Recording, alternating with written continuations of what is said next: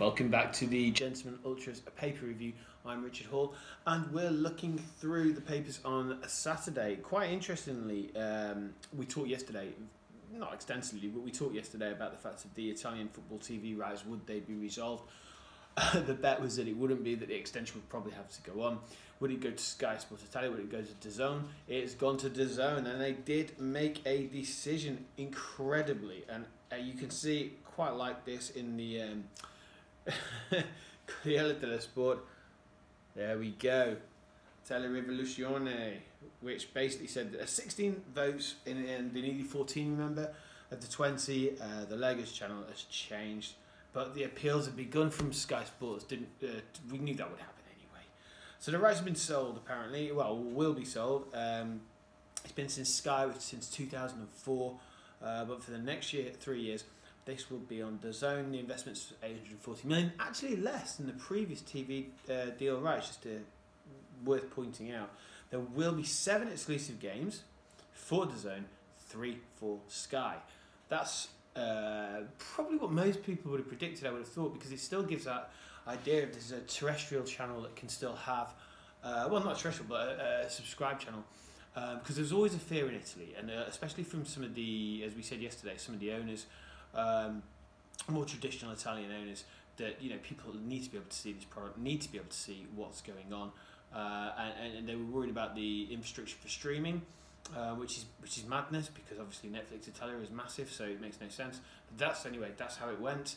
Um, anyway, DAZN will be taking up the majority of that. Hopefully, that means that Serie will get a slick, nice product that will can be marketed to the rest of the world whether that's the US, whether that is the United Kingdom, it's uh, hopeful. It is really hopeful. So I think that's a really big uh, push and move forward for Serie A.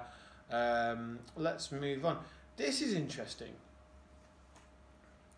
It's all about Muriel, or Muriel, sorry, uh, from Atalanta, saying that he possibly could go to Inter.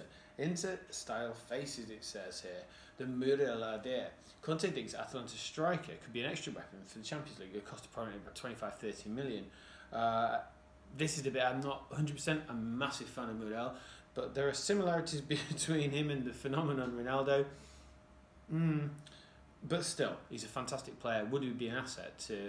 I mean, look, you've got Lukaku, you've got Lautaro Martinez. I think the worry for this, for me, is that you know you look at Sebastiano uh, Esposito, who, who will be coming back next year. Will this mean that he'll end up getting uh, pushed out to Sam? Will Inter use another lose another fantastic youth team player?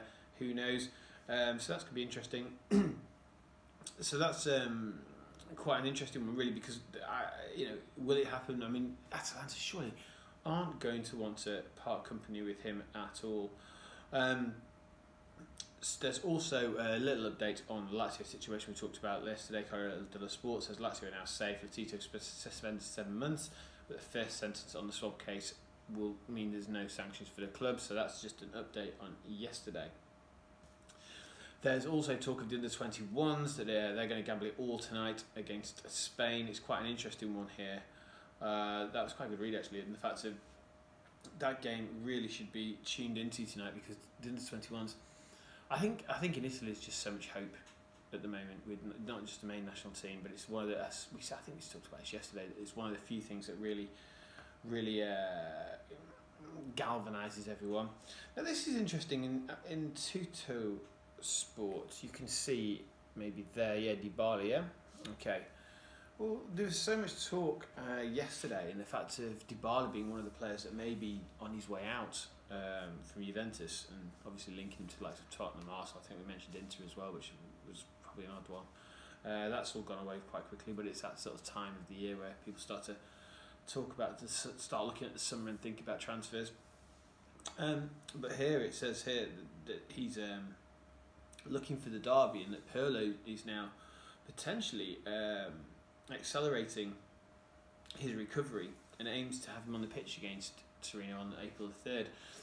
I mean, it is it is a story in a sense, isn't it? You can quite imagine the fact of if, if you can get someone back, is if Dybala can come back and, and have a connection, whether it's with Ronaldo or, or actually on his own, because even before Ronaldo came, he was the difference maker. Um, and it's almost a shame that, you know, overshadowed probably the word, I suppose. So that's quite an interesting one as well because I think that you know uh, Pirlo Juventus from their point of view, I can completely understand that they want to come back and hit that derby hard. They need to, and Torino are in such poor form in a sense, and they've been so disappointing that you know th- that it really is quite a poignant moment if they can come back and, and win the Derby della Mole. Uh, it will be good. So that's basically it. There is also again um, just an interesting little one in Corriere dello Sport that uh, talks about that um, Cristiano Ronaldo and Ibrahimovic are both protagonists with their international team, but their club futures are uncertain. Obviously, we've talked about that before with Ronaldo because obviously with Pirlo in the situation that is, we know that we've talked about uh, uh, Juventus too Ronaldo centric, etc., etc. You'll have read that anywhere a million times before. And, and Ibra, he wants to. His cryptic words that he wants to go out on top. Um, but then he sort of says, "Well, look, you know, if I'm playing for Milan and doing what I'm doing, I am on top." Interestingly, this shirt. Sorry about the inter perspective for, for me, but um, you can't not have this shirt. Uh, Van Basten, Gullit, Rijkaard, Baresi, Maldini could keep going on and on and on and on, but it's it's an absolute classic. So yeah, just shirt update while we're there.